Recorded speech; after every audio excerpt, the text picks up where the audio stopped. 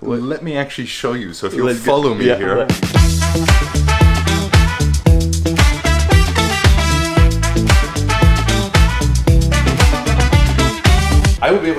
Class as well as to the person online, while the class will still be able to see me in full focus, which is absolutely amazing. This whole wall is uh, like a graffiti on a fence. And so the reason I chose BSL as well is that it's so, you know, it has this family feel to it and it's an accelerated process. BSL uh, has uh, this table. Uh, these are the companies where they receive internship. This whole giant building that looks like a stadium is a residence. So this is where our students who have a company project can develop that project. Oh, also push the startups a bit. Discipline. Yeah, This is, this is discipline. Of course. I wanted to moving fast to the world of the studies, so I chose the accelerated one for that. This was the building that BSL was all about. And believe it or not, it looks like a house because it really was a house.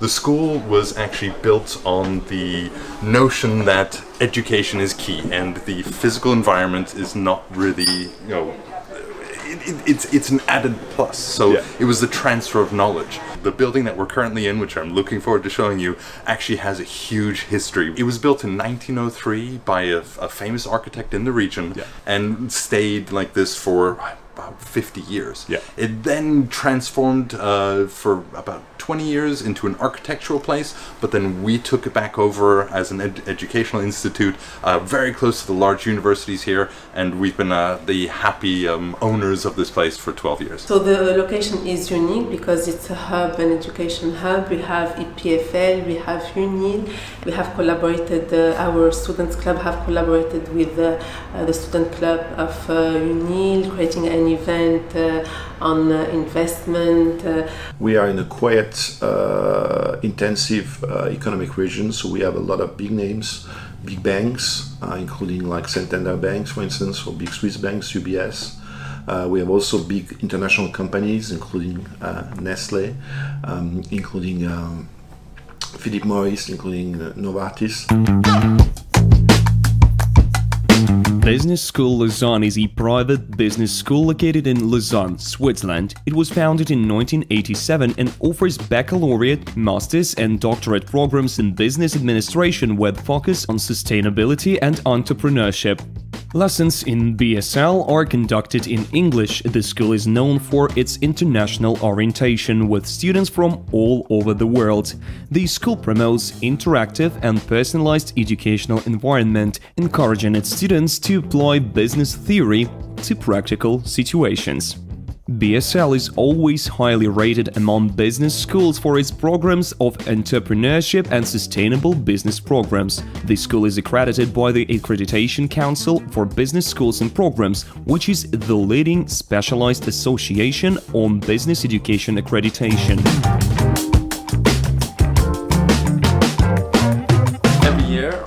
On quarterly basis, students of uh, Business School Lausanne organize this week called Business Innovation Week, and it's a series of panels, workshops. Uh, we reach out to guest speakers, but it's really supposed to be the students' opportunity to have an applied experience. Please come in. You don't know how to close it. So if you want to, go to have to get great results with AI, you need to know how to start. So my recommendation is exchange with people. Um, you'll find a lot of good stuff on also indie hackers. I'm the co-founder of a startup which is called Rapidly that helps people create uh, great social media content. So the experience that I shared is my knowledge about marketing and digital marketing and how it evolved throughout the years and how we already start using AI. Right now the students they sit at the same place I was in 2000. And 2000 it was the beginning of the internet, so a lot of new opportunities for marketing. And right now it's just the emergence of AI and it's going to also bring a lot of opportunities for them. Business School Lausanne is unique for several reasons. They pay great attention to sustainability in business education. It's not just a subject of a couple of courses, it's integrated into all of their programs. When teaching entrepreneurship, a lot of attention is paid to learning not only how to manage the existing companies, but creating and developing new ones.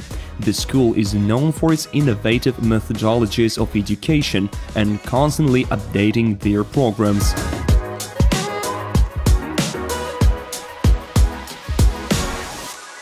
So on this floor is basically classrooms, Classrooms. meeting room, and the next one down is administration, student room, and classroom. So the, the- this here currently is uh, the uh, the explanation of what's happening this week with our students, which is the Business Innovation Week. So they've actually just created a timetable so that way people know uh, where they have to be at what time and whom they're going to be speaking with uh, this week.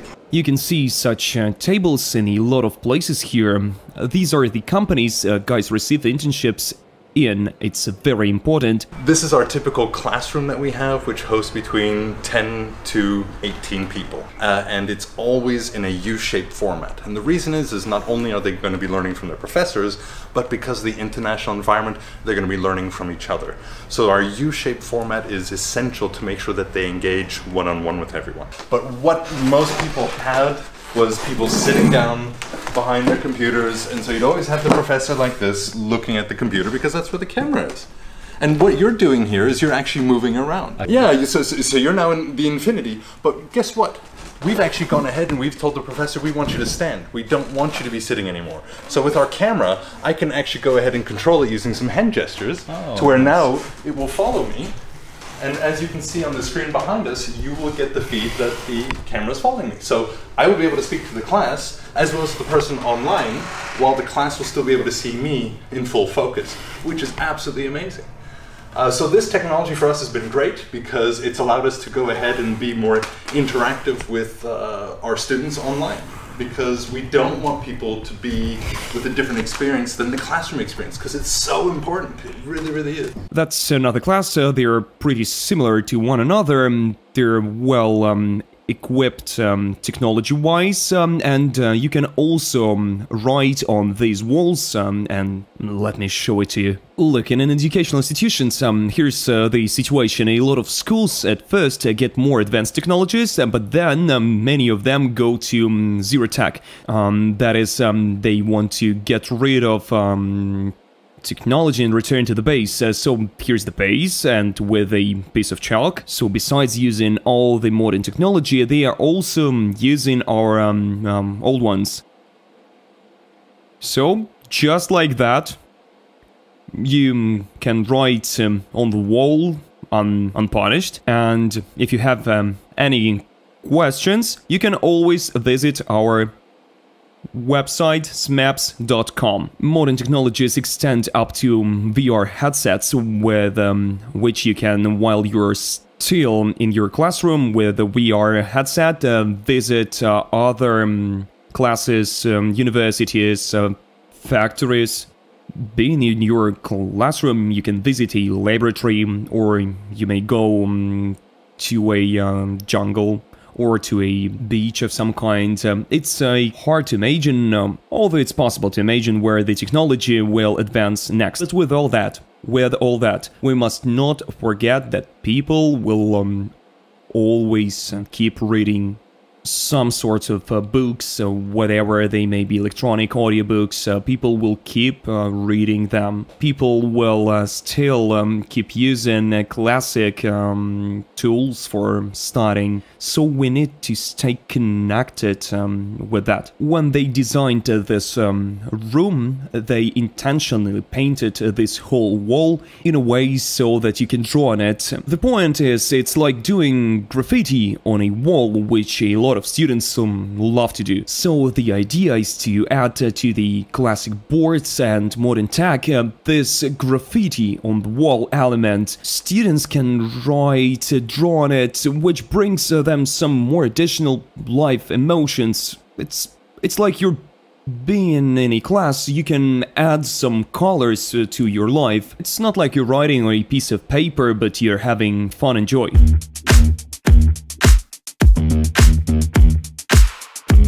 These BSL prepares students for careers in several areas of business. Considering their focus on entrepreneurship, many graduates can start their business or work in a startup. Management, finances, banking, investment, asset management, corporate analysis, marketing and sales, branding, digital marketing, consulting, role in sustained development and corporate responsibility. These are just a few examples. Personal possibilities will depend on skills, interests and the chosen direction of studies in BSL. So you're doing a sustainability program. Right. Yeah. And why do you need sustainability? Why? Uh, I had a few work experiences before joining the program, um, and really I, I, felt comfortable enough. I was in an early stage investments in like blue economy projects, so uh, these startups were working like developing uh, you know solutions to like clear up the ocean, and yeah, I, you know they were relocating to Singapore, and sort of I wasn't quite ready. You know, I wanted to be more invested in sustainability, understand sort of other ways of being invested in it beyond sort of the uh, the ESG, you know, the, the impact investment. I was working in Jordan. Um, I did my undergraduate in the United States of America, and I was did that in history and politics. And I really wanted to go into the business world, but I didn't have a business on the undergraduate degree. And so the reason I chose BSL as well is that it's so you know it has this family feel to it, and it's an accelerated process. So you're always a name at BSL. I can always connect with my professors, who by the way are working professionals. So there are also networking opportunities, and you know the professional the professors have their own businesses, their own professional lives, yeah. and so outside of being a professor, you can also network and see, you know, maybe a p- potential job opportunity.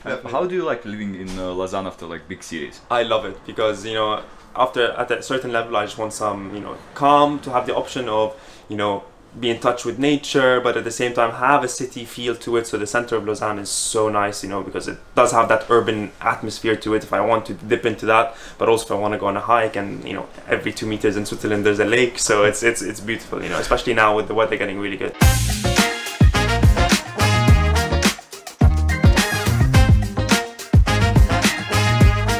Lausanne itself is often called the student center for its flourishing academic life, diverse student community and variety of well-known universities. Lausanne has several universities known for their academic excellence, productive research and solid international reputation.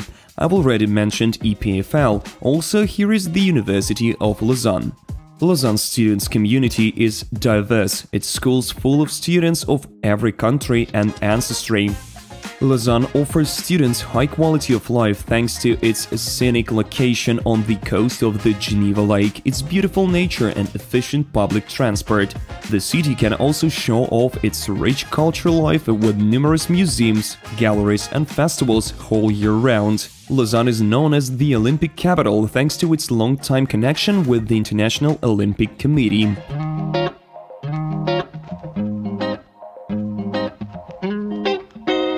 About uh, five years ago, it was considered basically a village. Uh, there are a lot of uh, dorms. These houses were built only five years ago. Are they also students? Usually they rent them, yeah. A lot of people here rent those students' um, apartments.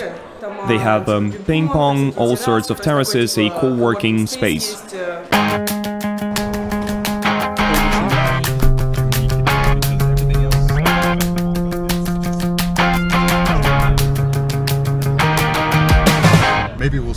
Vortex, that big round building. Vor vortex? Vortex, yes. Vortex. That's, the, that's the big round it, building. it sounds like um, what, what are they? Marvel Studios uh, headquarters of. Uh... And it kind of feels like it. It's actually a really, really neat place. But it was actually built to house, I think it was the Youth Olympic people uh, about six years ago.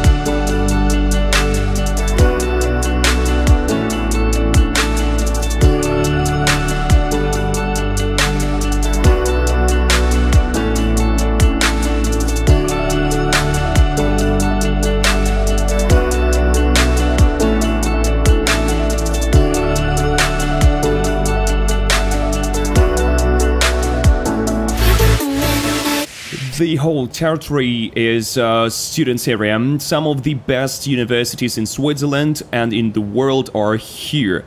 This giant building, reminiscent of a stadium, is a residence. Here you um, uh, have uh, parking for cars, so for bikes, um, electric cars, charging stations. We're now gonna go into the territory, although David has told me that despite uh, this being the student residence, it's popular among students uh, to rent apartments here. They come to the city, meet each other, and rent uh, together with uh, several roommates. The name is Bienvenue Vortex, the building's called the Vortex. So this how it's laid out. It has restaurants, uh, gyms. Um, now that we're inside together, let's see why it's called a Vortex. The reason is, um, look, um, there is uh, the balcony, I'm walking, and as I'm continuing walking, I'm coming up onto the balcony without any stairs. Look. You see? I'm going in that direction, and if I keep walking, I'll be going through the entire balcony without using these stairs once. You see it's spiraling up like a tornado, like a hurricane, and if I'm gonna go along this path continuously forward, I can reach the very top. That's um, one unique thing about it. Um, another is uh, that uh, they're using environmentally friendly materials. On the outside, it's all wood.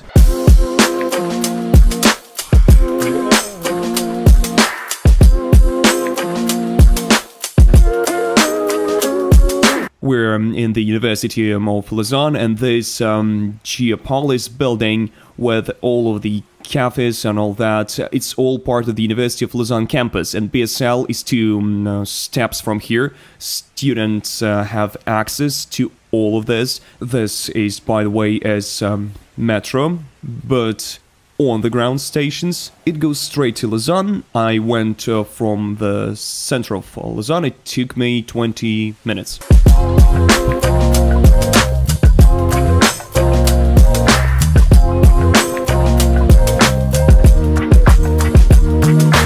Welcome to the campus of one of the best uh, technological universities in the world, EPFL. This cool wave-shaped uh, building is called uh, Forum Rolex. You know why. According to um, David, he supposes uh, this building was financed by the Rolex company.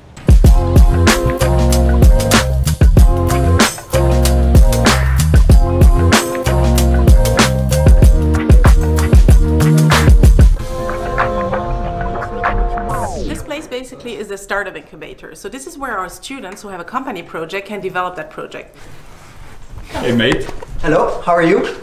We have, so uh, uh, one is a consulting company in customer experience, and then we have a tech startup as well. We developed a platform that uses a predictive algorithm. So we look historical data, understand what happened in the past, use an attribution model, and then we predict in the future what consumers will be wanting, their behavior, but also their spend. I know this company quite well. Uh, I started as a client. Uh, so Dana, which is the CEO from Incubator, uh, helped me uh, jumpstart my company. And today we are in business together. So, so we started to working with students here, for instance, and it was sort of like a funnel to actually for the students to have something after the school. So you actually develop something here, and then you have a management project, for instance, and then you then you press the button, and then you launch your company, and this is how you can do it with us. I have a very cool space here. So we used to during COVID, we used to have all the yeah man. this is This from is of me. your bodyguard. It's my, my Harley Quinn. Uh, well, to push the startups a bit. Discipline. Yeah, This is, this is of course. I work here, Hmm. so I have my desk to sit here. I'm like quite luxury here, and this is where I have my standing desk. You see, with the little pad that actually is moving. This is uh, the My Blue Planet space. So this is an organization that works uh, with startups to make them more sustainable, to track their impact, and to actually introduce uh, practices that are more sustainable for small and uh, medium enterprises. BSL, we are really specialized in one thing, and that's very important. It's everything about business transformation. Business transformation at BSL means that we have students in every program working on how to transform businesses. So they don't only learn skills, it's not about knowledge, it's about applying knowledge. And today, basically, we are producing one of the biggest TV entertainment shows in France. The story about entrepreneurial mindset and entrepreneurship at BSL is a story that is grounded in research how to transform education with an entrepreneurial mindset. Why is that so? And we really believe that it's only by transforming the education system as such, the faculty, and with the help of the students, integrating them in our teaching, that we can develop with them an entrepreneurial mindset.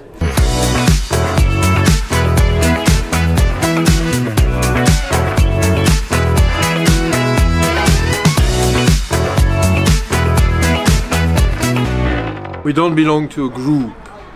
Uh, and there are not so many schools uh, which are still uh, independent, but we don't have the pressure of investors and we, we have more uh, freedom to and more um, and it's easier to keep our values. I did a school before who bring me a lot of uh, knowledge and, and all, but I wanted to moving fast to the world of the studies, so I chose the accelerated one for that. Masters uh, as well as baccalaureate uh, after they finish studying, it's uh, one year for the masters. Then they have half a year of um, capstone. You can choose uh, four things there: practice, thesis, um, project, and um, a second degree in China or France, if I'm not mistaken. And what is... Oh, the second is Japan. If you want to stay in Switzerland, it's better to do practice. It's easier to get a job and much easier to stay in the same company. I currently work uh, okay. for, for pharma company. In my view, this is the best way actually to acquire the knowledge and really quickly apply it uh, at work. Um, also, um, the opportunity when you work for the company already to, to have access to the data information and really immediately to, to challenge yourself where, um, where you can do the improvement.